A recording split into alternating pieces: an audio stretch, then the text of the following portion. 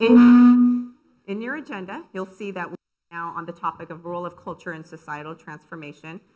I'm Angie. I'm just going to let you all introduce yourselves um, really quick, just your name and your entity or the enterprise. Hi, I'm Noni Session. I'm Executive Director of the East Bay Permanent Real Estate Cooperative. Good morning. Uh, my name is Lauren Harris. I'm Chief Program Officer at the Kenneth Rainin Foundation. Good morning. I am Jessica Norwood, the founder of the Runway Project. Great.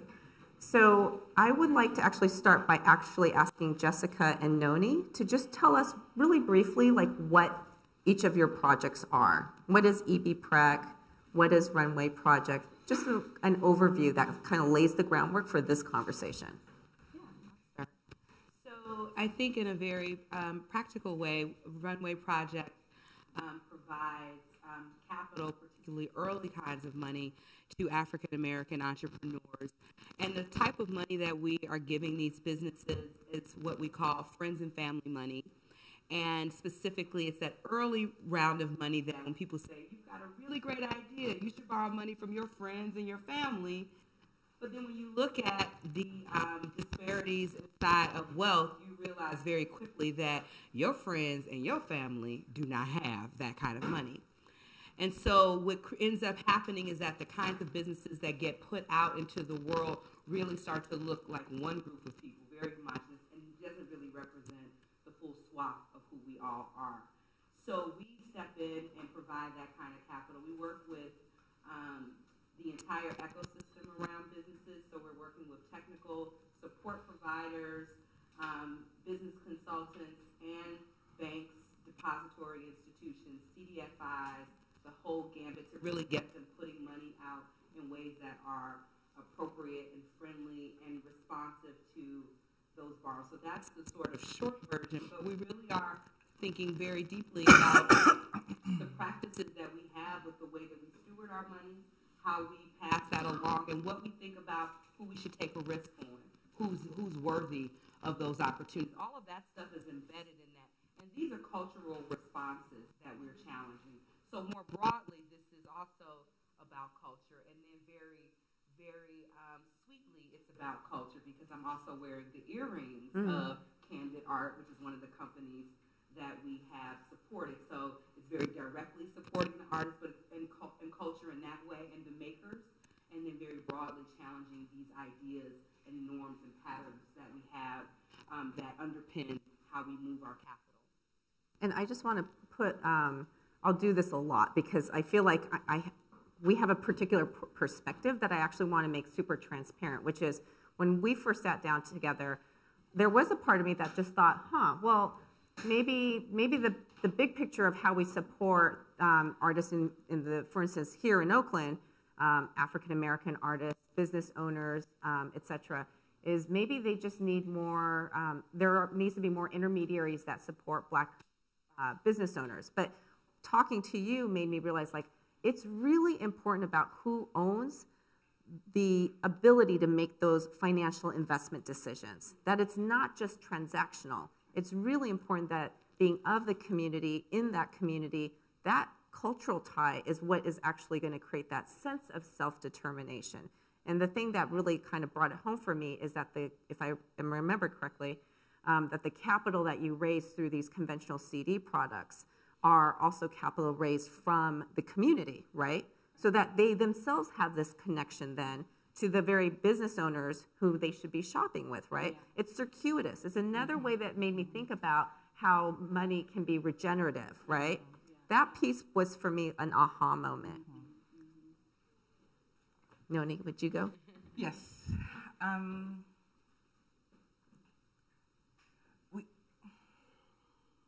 so many elements that I'm trying to figure out how to. Can I can I lead into one, yeah, and then you yeah. could talk about the work also. Yeah. Um, so originally, when we approached Noni and the team, um, because I know you guys all work very cooperatively. You are a co-op, but you work very much in collaboration with each other. Um, so much time. And I, we have to still unpack what we're talking about when we say East Bay Permanent Real Estate Cooperative, which I hope you will do. But at first, we were like, so we have a whole funding category around um, supporting um, ownership of assets by artists. And at first we approached it because we were like, ooh, maybe this will be a good way to get into a little bit of the real estate issue because hello, we're in East Bay, California. Real estate is super expensive. And honestly, until we met you, we were like, well, there's no way that ownership of assets that will touch the real estate um, as an asset because it is it's a, a far more expensive game than what we can play with our smaller dollars. But it was actually your you mentioned it as you won't maybe remember, but you said I'm a cultural anthropologist by training, and then suddenly I was like, wait, let's talk about it this way, and then it was like, oh, this is about empowerment, about kind of taking not even just control um, by a cultural community of real estate assets. It became more about like a process of how people can start to work together and reclaim a way of working together that over and over people have divided and you know i mean people literally saying you can't be in this community either through um, prison systems or gentrification etc does that maybe give you a pathway to kind of Indeed. okay. Yeah, I we originally um, uh, launched our vision on the basis of helping um, people of color, Black, Indigenous people of color, and allied communities um, find, um, finance, acquire, and long-term asset manage um, land and housing in Oakland and the East Bay. Um, we're doing this through this model. So we are the East Bay Permanent Real Estate Cooperative, but we're piloting a model called the Permanent Real Estate Cooperative. And it combines some of the, the most impactful elements of different um, social, socially driven organizations we find in our communities.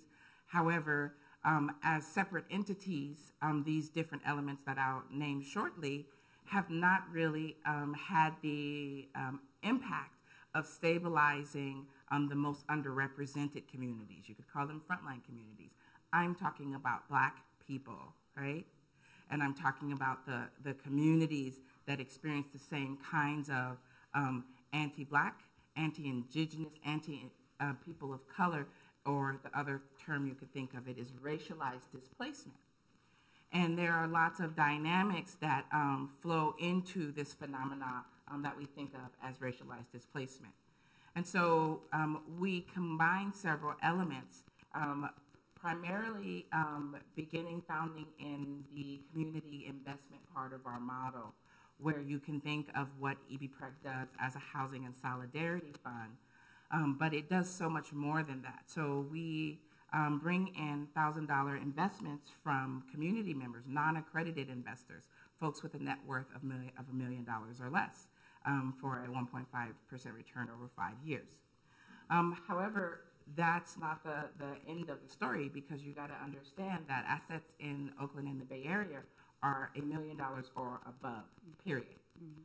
Um, so the, the, we gathered together 100 to 200 investors around a particular project, and we use that community buy-in to um, move our projects through our mission-aligned lenders and investors um, sphere of influence, right? So we um, take these projects that are that are put together in relationship to community members who bring us projects. So our first flagship project, um, about nine folks found their apartment building was going up for sale. So we created bios. Um, we came up with the vision for how they are already impacting the community, how they would like to continue to create that ripple effect through stabilized housing. Um, we supported them with a com- community investment campaign. So that's all the communications, um, that's all the outreach, that's all the financial management of the capital that we bring in. Um, we expose that project to program related investment, mission aligned investment. Um, we found that we even are able to expose the project to some government funds if we have the right partners. So we also bring together the other folks on this landscape of trying to stabilize and act in trust um, and in advocacy for the community. So our first project is in partnership with Northern California Land Trust. Our second is in partnership with Oakland Community Land Trust. Our third project is in partnership with a concerned community member who didn't want to see another um, million dollar townhouse built in the middle of West Oakland, right? Our third project will be in partnership with about five different organizations. So we combine the community investment model, the movement building and organizing model, um, the cooperative housing model, the worker co-op model, and the land trust model to support folks who normally wouldn't have the time, the skill sets, the networks, the resources in coming from vision to long-term asset management. And it's a recognition that the whole chain from beginning to end has been broken in underrepresented communities, right? And wealth building for communities has to extend past the attainment of the asset itself. I was talking about this the other day where we misrecognize the power of assets, the power of commodity goods. And what actually has to happen outside of that, because if you look historically, you can you know that that it, that at the moment that um, emancipation happened, there were black folks who knew that you needed to attain land and housing and assets. But there are lots of other network, capital, political, personal, communal mechanisms that dismantle that generation after generation after generation, right? So we're looking to extend past the moment of in- attaining the asset and recognize that there are durable networks that have to be built. There are skill sets that have to be reinvested into the community. There are long-term, um, more complex financial management skills. There is, is land trust work that has to work so that it, the, it resists, if you will, mission drift, um, even among ourselves as we're relearning how to build together, what to build together, and how to face this um, transformation of our economy. So we're looking at from beginning to end to create something durable that every generation you don't have to um, reignite a whole community to do so. And what I'm reminded of is that I, excuse me, I alluded to this earlier, which is in some ways, I don't know if it's because we're still super naive and are new to this work, but it feels like a lot of this of the work that you guys are describing, both in your own community, but we're seeing, of course, because there are others of you in this room, pockets of this kind of effort in other communities. North Minneapolis is an example, um, also um, certainly in, in Boston, is that it's it's so complex because what you're describing is it's not enough to do this work, and I want to start to unpack what this work is, right, through this cultural lens. It's not enough to just say, I'm going to just do a community land trust. You're talking about building an entire infrastructure and a, a and a way of behavior, right, rooted in a sense of people who are in it together. That is just deep layers, right?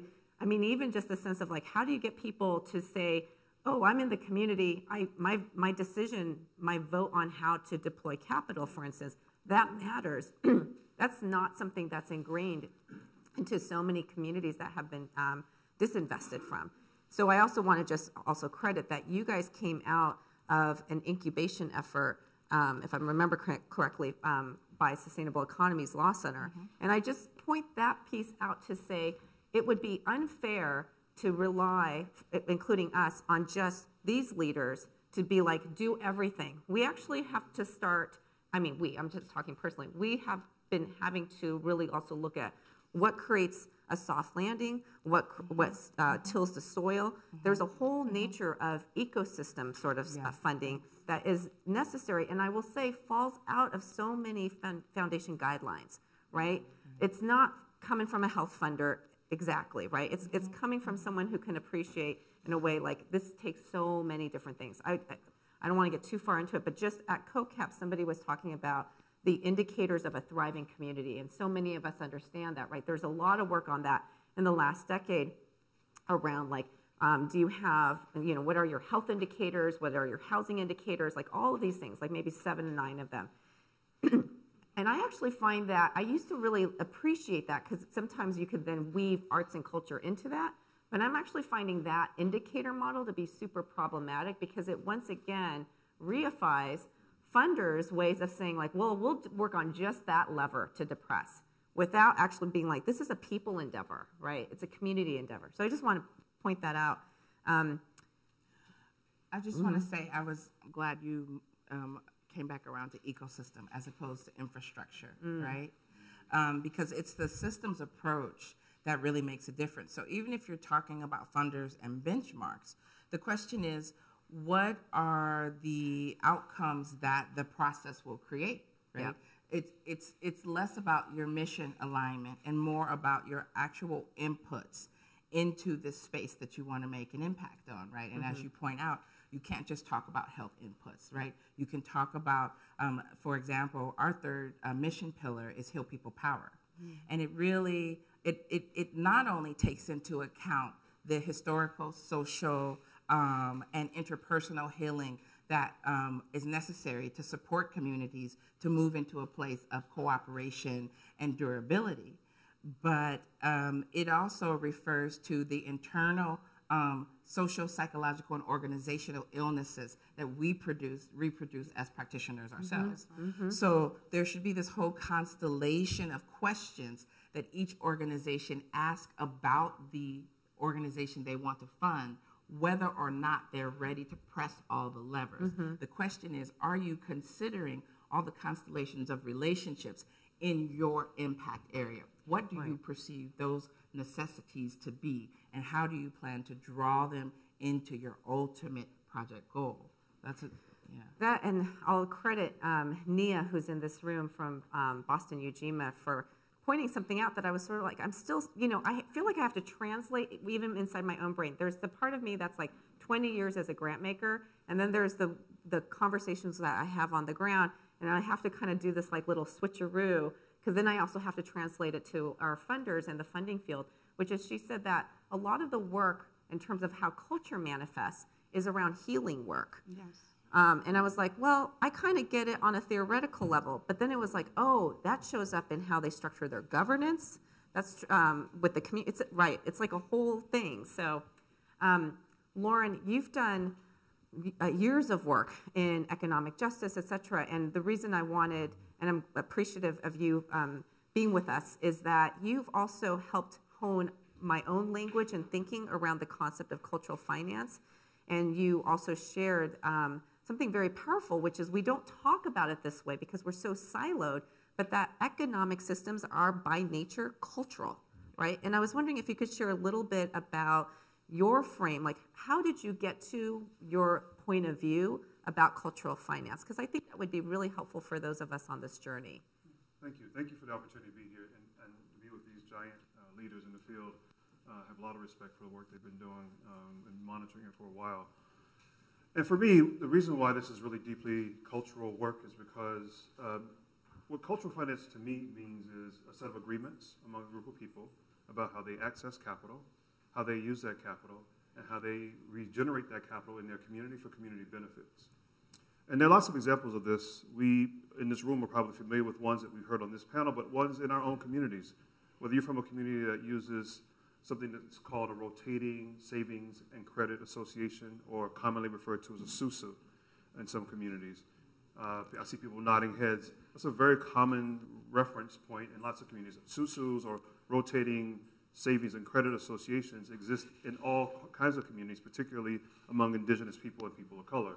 Uh, people who come to the United States from other places bring their savings and credit norms with them, and they have a set of agreements about those norms. It isn't only that they have a culture about how they access um, the cultural norms in their community around performance in the arts. It's also about how they access and utilize currency and how they use that currency to build power, to build economic power. Now, why was that necessary? It was necessary for the same reasons that Noni talked about. Because the chain, I, I would say the chain was never intended to be working in those communities. I would say the chain was always intended to be broken. And it has been a perpetual systemic approach to breaking the chain in communities that have come to the United States, that were brought to the United States, that were indigenous to the United States, uh, and make sure that they don't have a stronghold of economic power.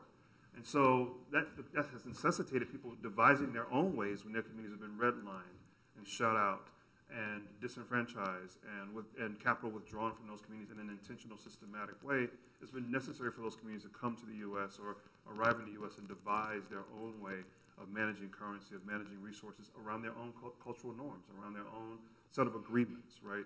And that set of agreements has, has led folks to really thinking about how they infuse culture, how they infuse ritual, how they infuse normative behaviors, uh, how they deal with disagreement and dissonance uh, and discord am- around money, uh, how do you ensure that they have scalable projects that they invest in, Um, what are the norms and rules around when money is used and the purposes that, that money is used for? So for me, cultural finance is really an encompassing notion about how people in a community, however they define themselves, um, agree to use currency uh, to improve their community and empower their community.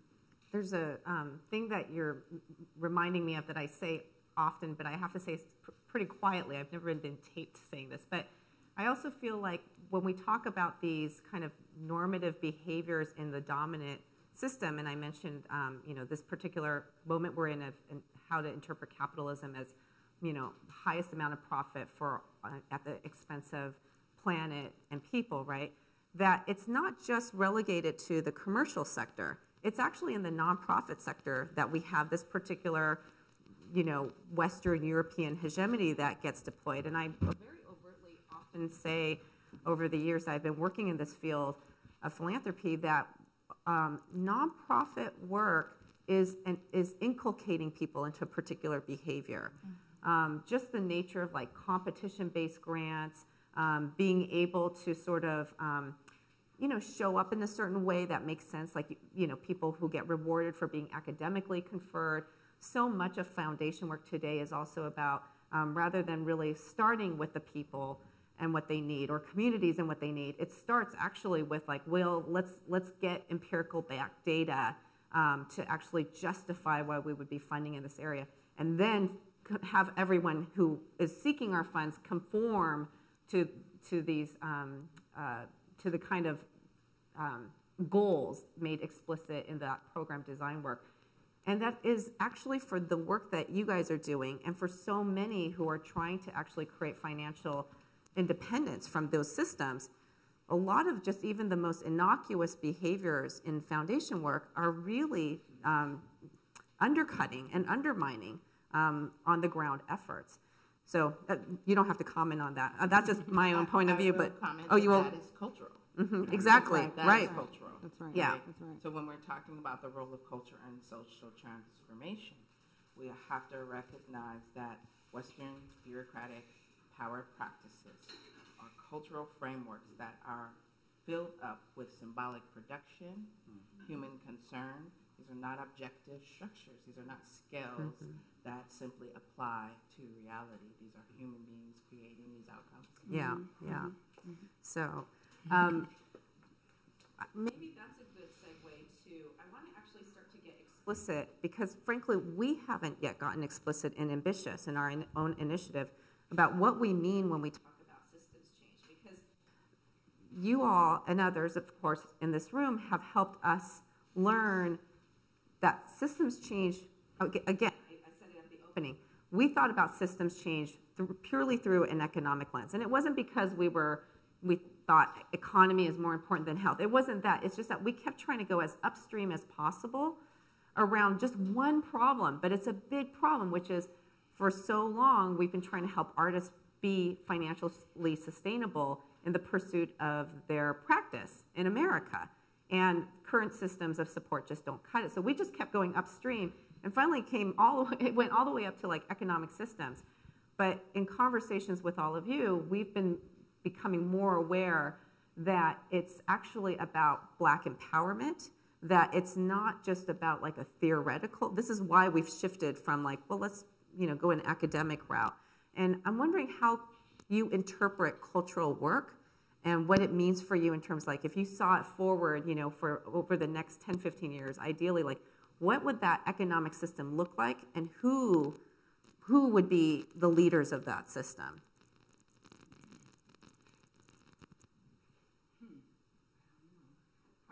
Oh, I know you know. Maybe I just couched. Maybe I just couched it in a confusing way, but You know, I, I what what you I, I don't know that I'll land on the exact um, question, but but something that's been said that's sort of been percolating right now is. Um, you know, one of the things that we thought about with the runway project and, you know, purchasing certificates of deposit, because there are lots of other ways this could have happened.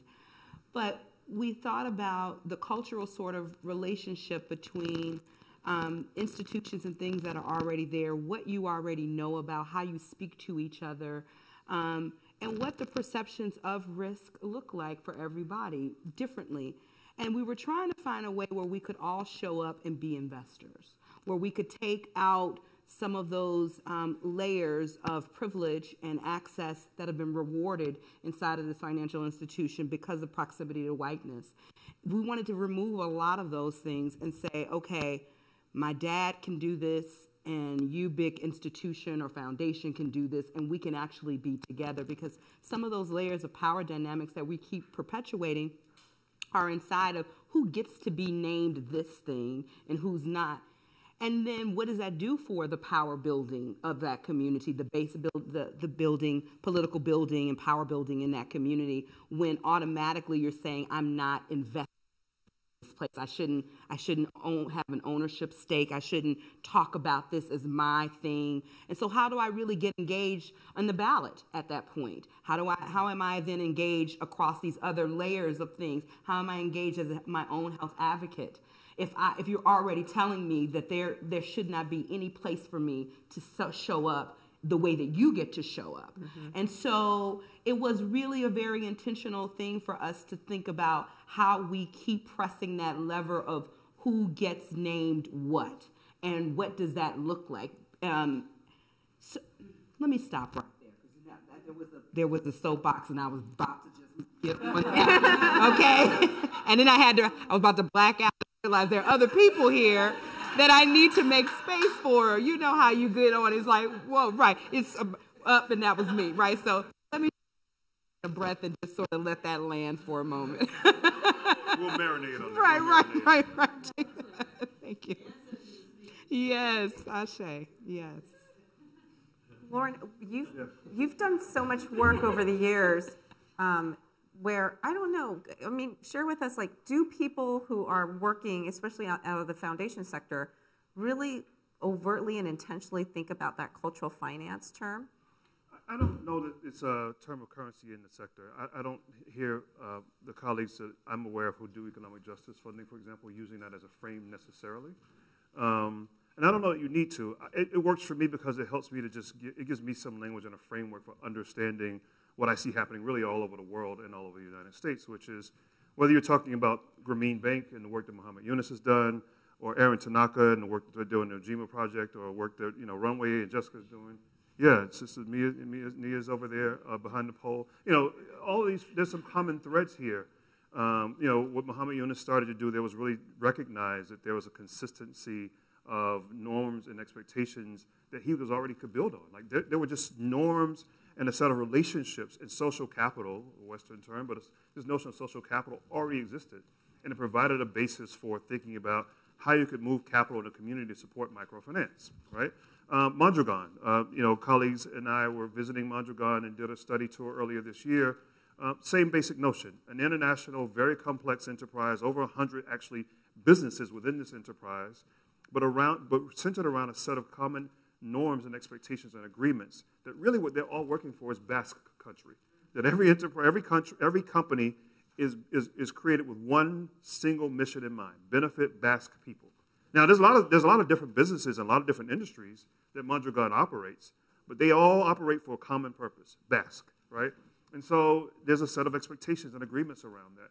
And similarly, in the U.S. context, what I see in communities of color, in particular, all over the U.S., is people organizing around a notion of what we can do to benefit ourselves because nobody's coming to save us. We have to save ourselves. We have to figure out how we're going to empower and build the kind of economic um, um, uh, pathways for uh, meeting the needs in our communities and not expecting people to come and do it for us. Um, the, the, the, historic record shows that no one's coming to do it for you. In fact, if they come, they may come to destroy what you built. Right? And so the, the notion really is in philanthropy is how can we use all the tools of, foundations, all the resources, and I mean all, the 5% that we grant and the 95% that is invested, uh, to really make a difference in elevating the work that Jessica and Noni and others like them are doing in the U.S. and around the world. Thoughts? Yeah. Slightly challenging thoughts. So, right. Um, I think that there is a, a silence around the fact that black Americans black American, American communities, at least me being raised on the West Coast, it's not the South, cannot be said to have a very specific to their needs, frameworks, and history cultural approach to using, circulating, and recapitalizing, if you will, money. That is part of the structure of disorganization that causes Black American communities to be so vulnerable to every movement of the market, to every cycle through communities, to every need. Because the cultural approach that we are told to use and caused to use, first of all, is a Western capitalist approach. And that approach structurally excludes our usage, right? So if we're talking about cultural usage of money, we have to not just say, like, oh, well, look at those black folks down there in the lower bottoms. They could use the susu because they are descended from the African folks from some very specific region among um, um, scores of countries, right? What we have to think about in relationship to culture and the use of money is rebuilding, reaffirming, and even recreating something that is very specific and functional for the people that we're engaging with, right? You point out from the very beginning, friends and family, I cannot call my my cousins and ask for $1,000. I actually have to give that to them because they need that from me. Um, and in terms of financial organization, um, even, oh my God, um, the panel Annie McSheirs was on, where um, her panel mate uh, mentions do not give a black bank $100. Their cost of transaction costs so much more than that $100. That's the way to destroy a black bank quickly there are very specific um, exigencies of black dispossession in the US that have to be looked at, taken apart, and understood in order to speak of anything like a cultural, um, a cultural um, um, um convention around money, finance, and capitalizing, mm-hmm. right? And that's what we're trying to recognize in, in through using cooperative principles, right? Because I definitely um, believe in the Mondragon model, but there's a homogeneity, there's a national, there's a coherent national identity, there is a land base, there is a, a, a notable, at least now, in the beginning, they were so poor that this is probably not the case, but there is a notable absence of systemic interference with their ability to create financial unity. And those, those conditions are all hold in the opposite in black American communities, right? We're coming off of the 90s of predatory lending. That was racialized, right? When you go and look at actuary tables for risk factors, out of the box, not being a white skinned person downrates you by certain points. That is racialized and systemic. So, in order to make any of these claims that we're making for our work, there has to be a courage to talk about the fact that I cannot walk my brown behind into just any old bank, whether I am degreed, whether I am named the executive director, whether I am on the page, front page of the New York Times, and receive a loan with the same kinds of asset base under me as my white counterpart. Right, right, right. You cannot disappear that. Yeah. yeah. yeah. There's also something about, so in this conversation, where, where we show up is um, I think about the legacy of just arts and culture philanthropy over the past two plus generations. And to this work of um, changing not only economic systems, but um, building back up communities who have been so extracted from, arts and culture uh, done a lot of damage. And here's why I'm going to share the frame for, for how we come into this conversation. Is that we're, you know, it's very easy to say that um, largely arts and culture in America through institutional support is very much about um, West, Western European hegemony um, and inculcating others to that. And it, and it happens in very specific ways. It's you know, artists in America have to be um, degree conferred, that they are, um, uh, that they look a certain way, practice a certain way, etc. oh, I'm, I wish my water was up here. I'm sorry. But that the, um, but what I'm also seeing is that right now we have this moment where there's a lot of efforts within philanthropy for, and I really hate that it's become an acronym, DEI support, Di- diversity, equity, inclusion. And I'm always like, equity work looks so different than those other two, right? But the reason I say all this is just to say that I'm still right now dismayed that when people talk about, oh, we're doing inclusive economy work, oh, thank we're doing inclusive economy work or we're doing um, just transition work, etc. It's devoid still about acknowledging a lot of the damage that even our own industries have done to par- participate in actually taking away power from certain communities.